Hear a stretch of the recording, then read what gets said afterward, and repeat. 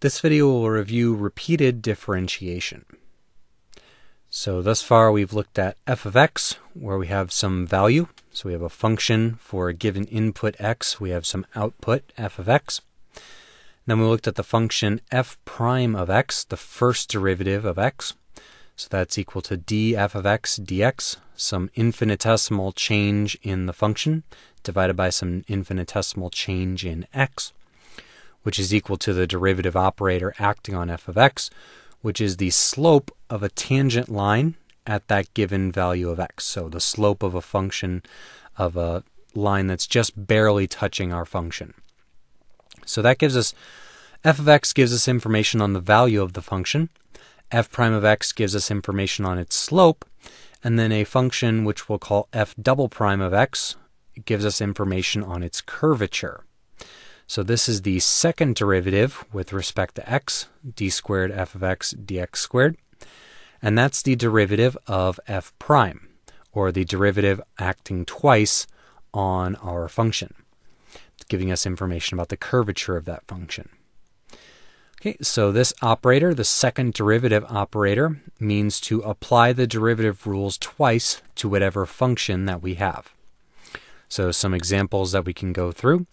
We have second derivative of a polynomial would be the first derivative of our derivative rules applied to the polynomial. So n times x to the n minus 1 is the first derivative. Take the derivative of that, we would get n times n minus 1 x to the n minus 2. Our second derivative operator acting on e to the x, well, the first derivative of e to the x is just e to the x. So, surprise, surprise, the second derivative is also e to the x. Then we have things like sine, where the or if we have sine kx, the first derivative of that through the chain rule is going to be k times cosine kx. And if we take the derivative of that again, using the chain rule again, we will get negative k squared sine kx. All right, so something where we have to use the chain rule. If we use the second derivative of e to the negative x squared, the first derivative of that by the chain rule would be negative 2x e to the negative x squared. So taking the derivative again, now we have to use the product rule on negative 2x and e to the negative x squared. So we get, as the result, negative 2 e to the negative x squared plus 4x squared e to the negative x squared.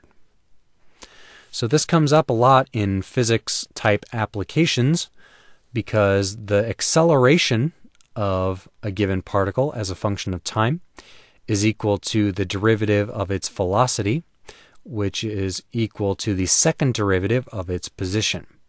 We can remember that the velocity of a particle is defined as its first derivative with respect to time, first derivative of its position with respect to time. So the acceleration is the second derivative with respect to position, or the first derivative with respect to velocity, where each of those are just functions are describing the position, velocity, and acceleration as functions of time.